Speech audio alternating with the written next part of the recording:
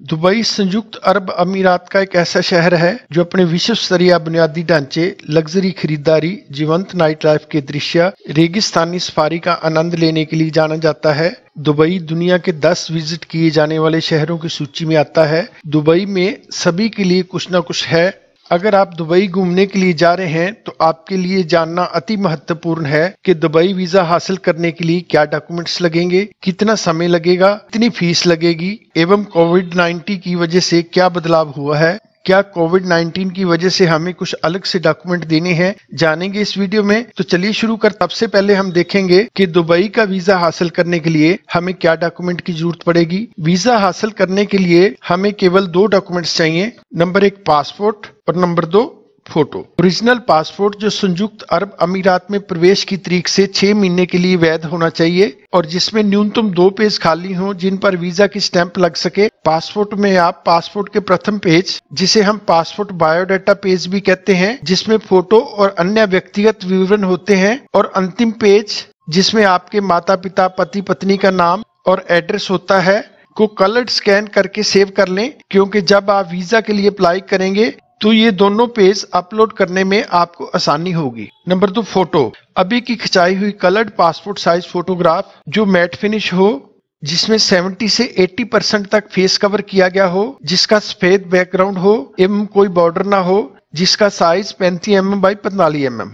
Note, अगर आपकी अभी अभी शादी हुई है और शादी के तुरंत बाद आप दुबई जाना चाहते हैं तो फ़ोटो आईडी प्रूफ के साथ माता पिता से एनओसी शादी का कार्ड शादी की फ़ोटो आदि मांग सकते हैं। अगर आपके पासपोर्ट पर पति या पत्नी का नामांकित नहीं है तो आप अपने मैरिज का सर्टिफिकेट लगाएँ, अन्यथा एक सौ रुपए के स्टैम्प पेपर पर एफिडेविट दें और उसे नोटरी से टेस्ट कराएँ। अगर आपका passport ECR immigration check required category का है तो confirm return a ticket okay to board processing के लिए मांग सकते हैं। कोविड 19 के दौरान यात्रा करने के लिए आवश्यक दस्तावेज़।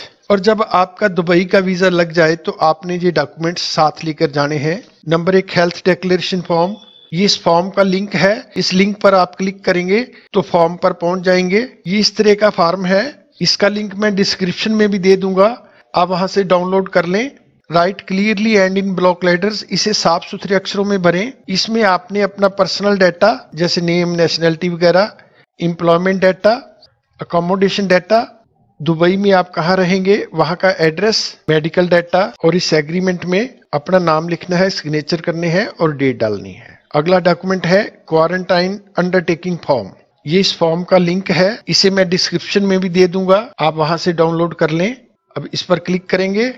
ये इस तरह का फॉर्म है, इसमें आपने अपना नाम, passport number, mobile number, email address भरने हैं सिग्नेचर करने हैं और डेट डालनी है। हेल्थ डिक्लेरेशन फॉर्म और क्वारंटाइन अंडरटेकिंग फॉर्म ये दोनों फॉर्म आपको फ़्लाइट में एवं एयरपोर्ट पर भी मिल जाएँगे, जिन्हें आप भरकर दे सकते हैं। नंबर तीन international health insurance for duration of stay in UAE संयुक्त अरब अमीरात में ठहरने की अवधि के लिए अंतर्राष्ट्रीय स्वास्थ्य बीमा।